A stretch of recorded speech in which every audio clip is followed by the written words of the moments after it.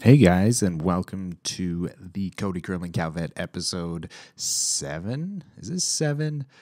I uh, I always love listening to the intro music because it makes me feel like I don't know, like I'm an actual broadcaster or something. It just like sets the tone. I did get a comment from a listener how uh, how the music doesn't fit.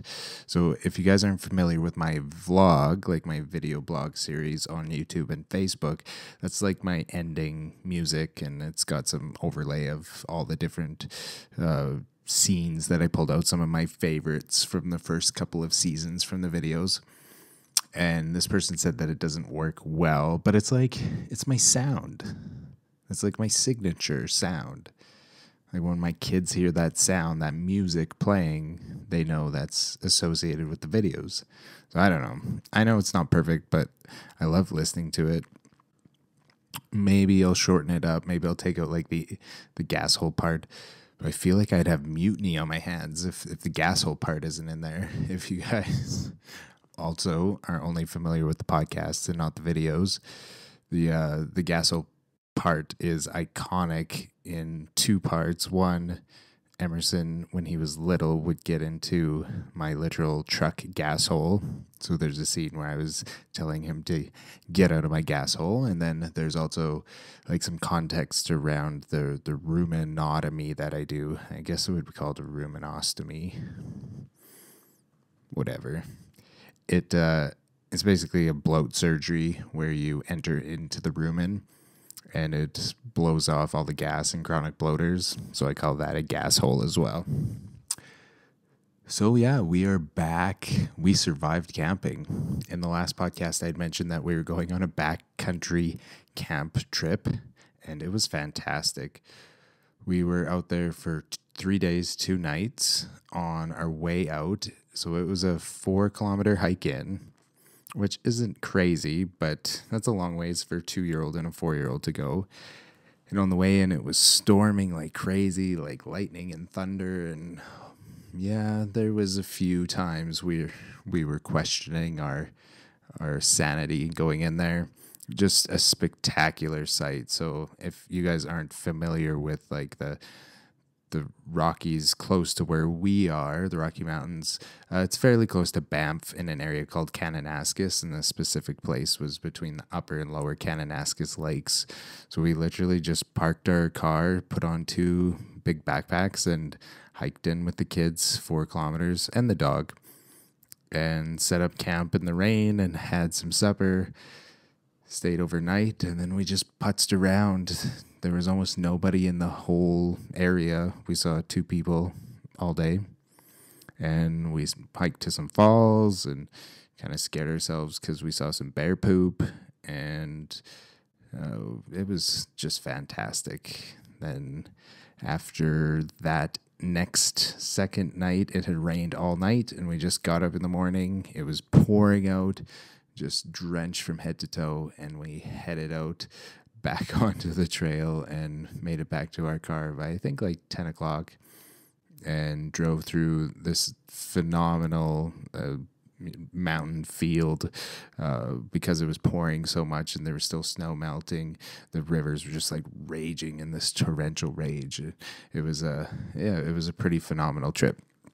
It's very wet, not too cold, lots of mosquitoes, and just seeing some fantastic stuff that I don't know, you just you wouldn't get to see without walking into the the backcountry. And I'm not trying to be like one of those pretentious because I know people are like, oh, I climbed a mountain.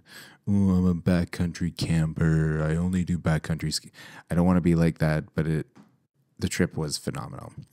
So we have another camping trip planned as a family coming up in a few days. Uh, after the after our camping trip now, I took a few days off, so I think a little family staycation for a few days after the trip. We went out and did some tubing behind a boat at a friend's place who has a lake on their property. Another phenomenal sight, like this lake, and then all these cows around, and we're the only ones on the lake. And we went to the Calgary Zoo and just had some fun family time. So, yeah, camping coming up in a couple of days. So, today's episode is going to be a little more medicine based. I have so many comments from you guys. I have this treasure trove of things that I need to talk about on this podcast now. So many different requests. Uh, this one's going to be medical in nature. Uh, I feel like I've there's no set like topic for this for this podcast series. It's just kind of things that I want to talk about. And it's going to be a mix of like veterinary culture and politics and uh, business stuff and also medicine and things that I see and things that that's going on and things that people just want more context and questions about my life as a beef cattle veterinarian. So I, I feel like I haven't really rounded out the the gambit of what uh, you know what I should be fulfilling from the medical side. I feel like there's like I don't know I don't know why he's Russian, an imaginary Russian listener thinking that that's yelling into his phone saying, "Why does he never talk about medicine? Dance, Cow Vet, dance. Give me more medicine. I do not want to listen to you talk about culture of veterinary medicine." Dance and give me more medicine. Okay, if you guys comment back, uh, like send me an email saying you never want another accent again, I'll be fine with that. You just have to let me know. I I've got thick skin. I can take it. So this one is going to be just based off of a phone call that I got today from a producer who was having some issues with pink eye. So pink eye unlike the the bout of pink eye that went through my house uh, several months ago when both of the kids got pink eye, uh, that's uh, comedically known uh, to be caused by farting on somebody else's pillow. As far as I know, nobody's pillow got farted on or sharded on, but. It, uh, in human medicine, pink eye is typically a uh, viral in origin, although there can be some some bacterial causes for sure. In cows, it's almost always bacterial in origin, and a specific species of bacteria called Moraxella bovis. So the fancy name, am I gonna remember the fancy name? The fancy name of pink eye is infectious keratoconjunctivitis. Conjunctivitis. Yeah, see, I didn't even get it right. Infectious bovine Corrado. I don't even think bovine's in there. Corrado conjunctivitis. I swear I'm a vet. It's really late. Anyways, what that means is uh, a few different parts of the eye is infected. So the conjunctiva is infected, and then also the the keratin layer of the eye, basically the the cornea, is infected with this uh, nasty bacterial infection. So the typical or hallmark signs of that are blepharospasm. So that would be like this like eye twitching um, movement because that that eye is really really painful, and also um, they're they're photophobic, so they're sensitive to light. And they have excessive lacrimation, so they're also tearing up quite a bit. So when you see a cow that is has you know a red eye, potentially a white spot on that eye, depending on how much corneal edema there is. But but the real I guess tells of whether or not that animal is still infected with that uh, pink eye is is that eye twitching, that sensitivity to light, and also that excessive lacrimation, that excessive tearing.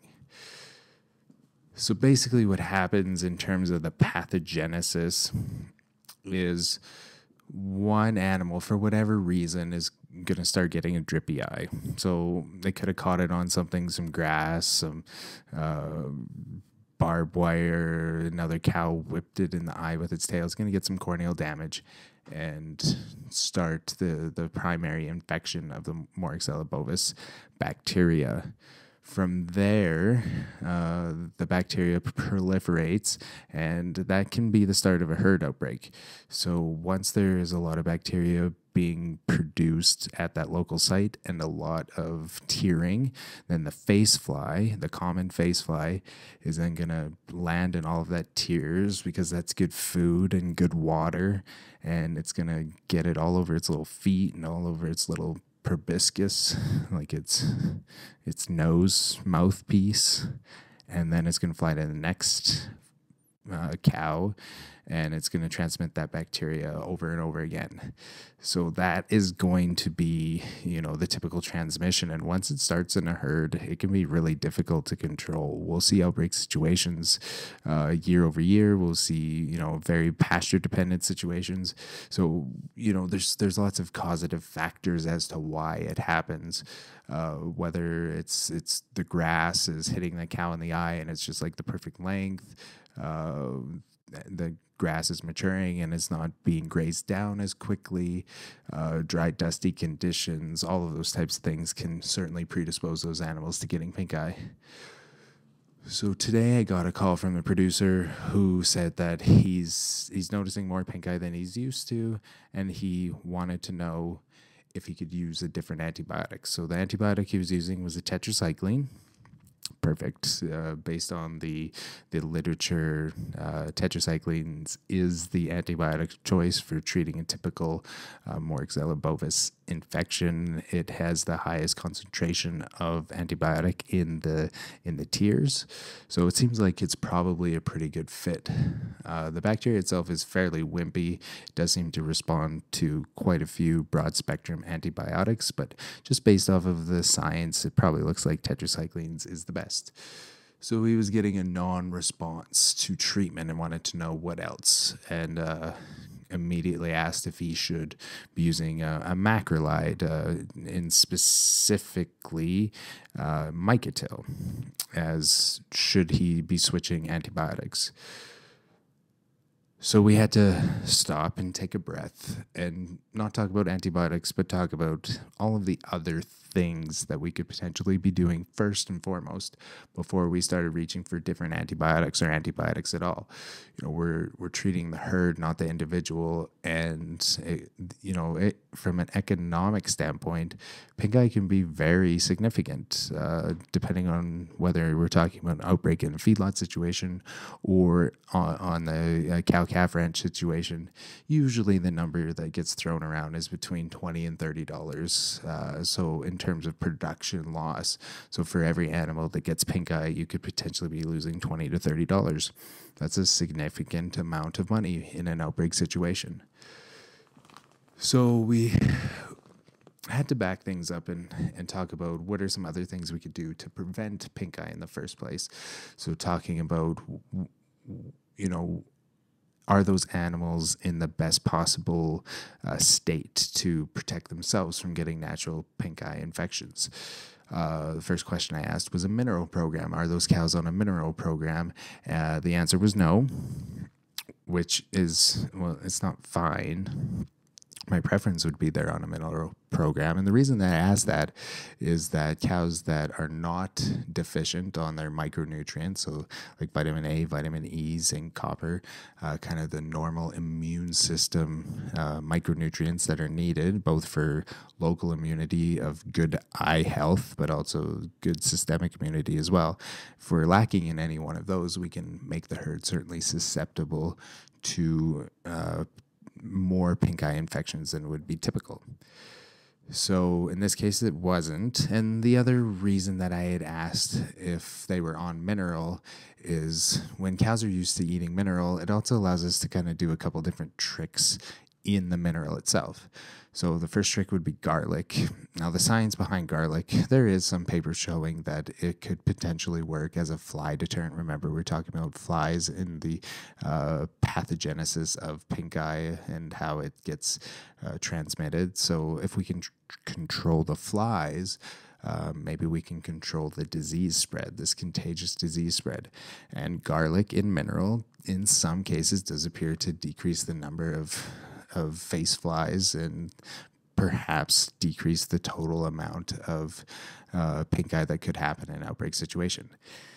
The other thing that we were uh, discussing was in a really, really severe, and I don't make this recommendation very often, but in a really severe outbreak situation out on pasture, sometimes I'll make a recommendation to prescribe uh, an overall herd treatment with a tetracycline in the mineral. So, uh, at a low dose uh, of of usually chlortetracycline in the mineral for a pulse, usually around 10 days, can oftentimes stop a pink eye outbreak dead in its tracks. Now, it is using antimicrobials as a preventative and not as a treatment, but in some cases, we do have to do that. Uh, it's one of the tools we have in our arsenal as veterinarians and cattle producers that when we think that it is justified, we can use antimicrobials as a preventative. Uh, so, so that was another reason I asked if those cows were used to eating mineral. Then we had another tool within our toolbox to help prevent this problem. Uh, I continued down the the questioning path of fly control. So, what are we doing about fly control? Do we have natural resistance? Do we have uh, fly tags? Do we have the ability to put out cattle oilers? Uh, is there anything we can do from a pasture management standpoint to help control flies? Is there anything we can do from pour on uh, insecticide standpoint to help control flies? Anything we can do to help control flies can certainly help control the, the overall problem. Uh, in this case, the cows did have fly tags, so uh, pyrethroid based uh, fly tags uh, that would keep of like I like them. Fly tags work pretty good. Sometimes they can be a little bit an expense, and they certainly don't last forever. So like around that four to um, six weeks would be pretty typical. Uh, so that was good using using that fly control. Uh, we could get them on mineral, so that gave us an option. And then the next thing we were talking about is vaccines. So, not in a pasture situation would we consider vaccinating uh, because we just can't run those cattle in off pasture and vaccinate. There is several commercial vaccines available for the prevention of pink eye. Uh, I'm not a huge proponent of that. It's not something that I would regularly recommend unless we were having um, year over year outbreak situations in a specific herd and we knew we had significant economic loss. If it's just kind of baseline pink eye levels and it's never really been a problem, then it's pretty hard to justify the cost. Uh, and efficacy is let's just say it's not the best vaccine in the world, but it's certainly not the worst vaccine in the world either. It's just not something that I reach for very often, although I do have several producers on it every year because they have had issues in the past and anecdotally they do think that it does help. So that's good. We we have no problem with making that recommendation if uh, if we need to. And then we started talking about true treatment options. So preventative was one thing, but the producer was asking, what else can we do for treatment options? Like I said, he was using a tetracycline um, one time, a long acting tetracycline one time. So the initial recommendation was maybe we should just try to retreat those animals and also some education around what animals are, would even potentially respond to antibiotics as I mentioned before, uh, animals that have active infections are tearing up uh, quite a bit, and they also have that eye spasm from that pain.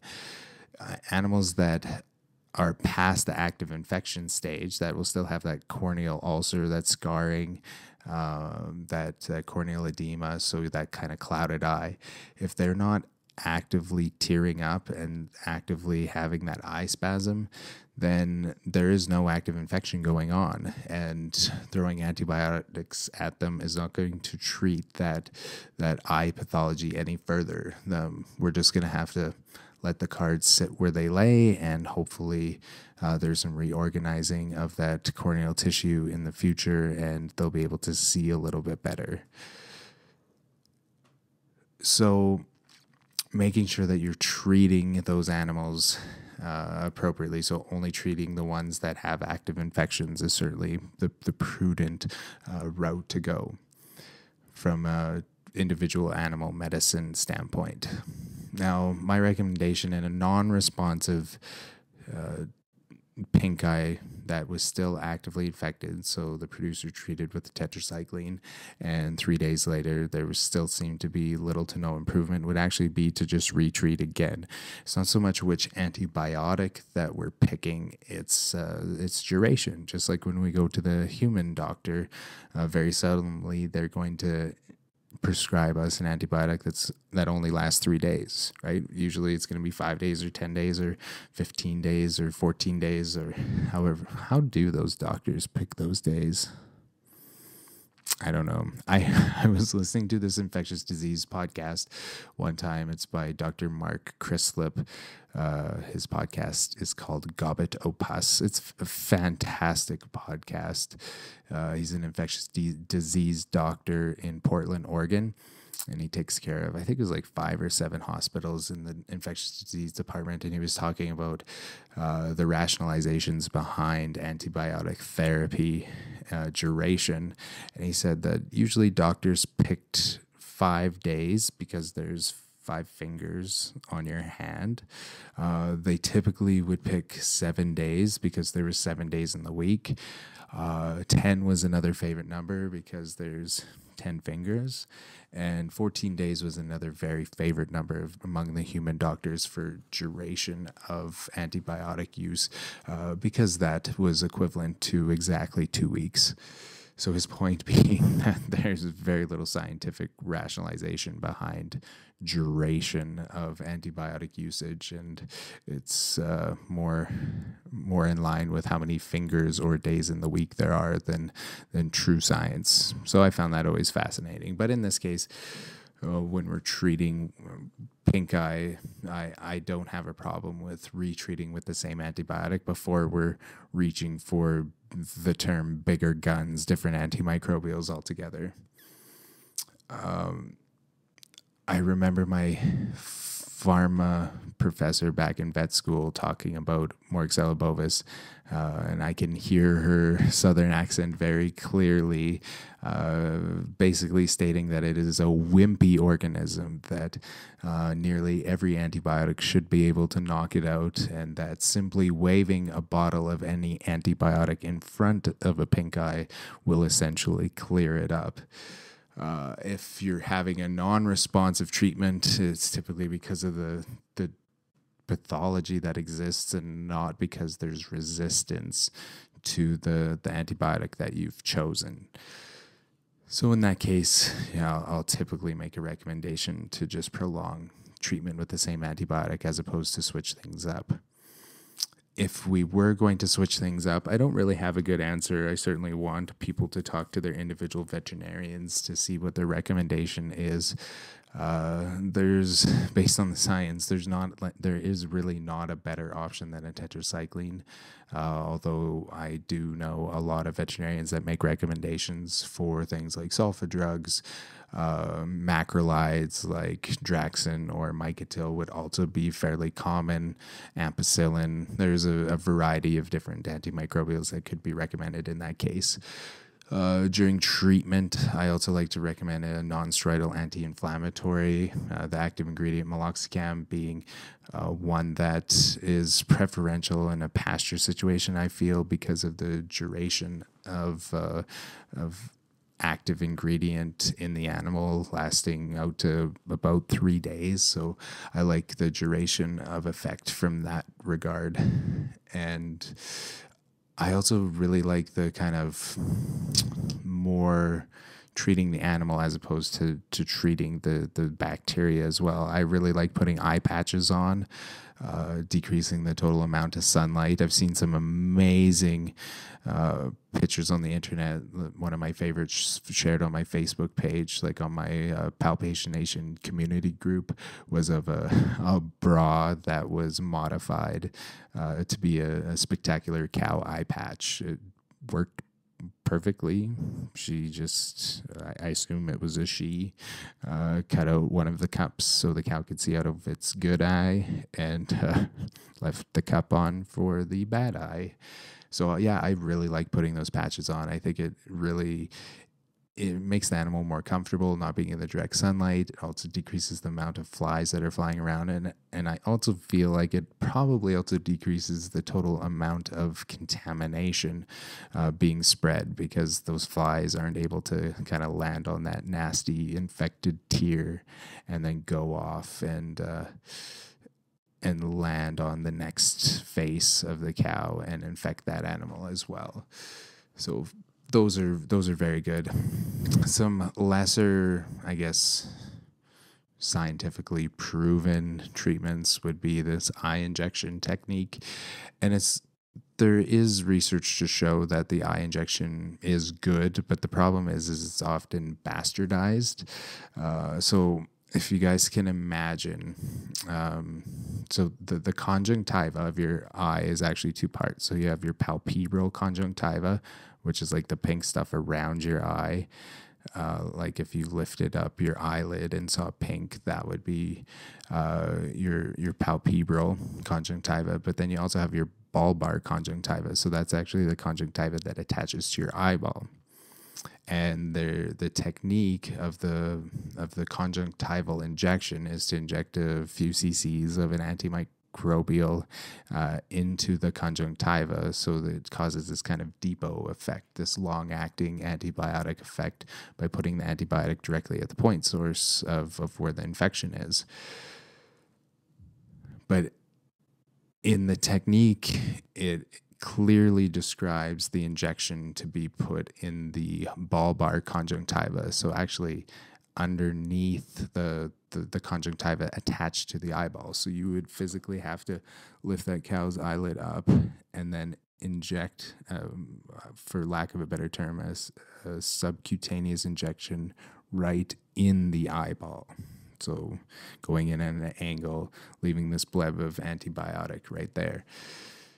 Now, that technique is being so bastardized because people just see the word conjunctiva and they think that they know what they're talking about when when they go to inject the the conjunctiva. So instead of putting it in the bulbar conjunctiva, they're putting in the palpebral conjunctiva, so the actual like pink pink of your eye. Now that's extremely vascular, and when you inject a couple cc's of antimicrobial into the palpebral conjunctiva, the blood supply just picks it up and takes it away. There's no depot effect. So you're in effect underdosing uh, that animal by several orders of magnitude because now it's just got a, you might as well have given the antibiotic in its neck. So that technique can work. I've certainly seen, like, I was a pen rider before I was a feedlot vet, before I got into vet school. Uh, that was my job, and the the way that we treated pink eye at the feedlot that I worked at was a couple cc's of white penicillin in the in the bulbar conjunctiva. No, sorry, in the palpebral conjunctiva, so the pink of the eye, uh, with about half a cc of dexamethasone. So we put it in the wrong spot way underdose anti antibiotic, but then we also put a mastitis cream in the eye as well, and then we also sprayed it with a purple spray. So we did three things to treat pink eye, and they responded. So it worked. But just because it works doesn't mean we necessarily should always be doing it. And in this case, it just doesn't work. And I've even seen it, like when we're talking about the the two cc's of of penicillin in the palpebral conjunctiva. It's just not an appropriate use of antibiotics. But I've even then seen it carried further to to veterinarians recommending things like Micotil, things like Draxxin, things like Nuflor, things like Resflor to to go up that next spot. But then there that next step uh, in terms of important antibiotics, and then put it directly in the eye again. So two cc's of Resflor in the eye. And I just cringe. And then the, the next kind of bastard bastardization that I've seen is instead of taking that time to put it in the, even in the, the bulbar conjunctiva or the palpebral conjunctiva, they'll actually just inject it like over top of the cow's eyelid through the skin. It just, it gets out of control and messy. And, we just shouldn't be doing things like that. Now the special formula, like the the mastitis cream, there is some research out there and some recommendations to use a, a topical uh, antibiotic slash anti-inflammatory. You have to be really careful with the steroids that are in those. Uh, depending on how deep that ulcer is, you can make that ulcer worse by inhibiting that uh, corneal uh, rejuvenation, that that healing process by adding steroids into the eye.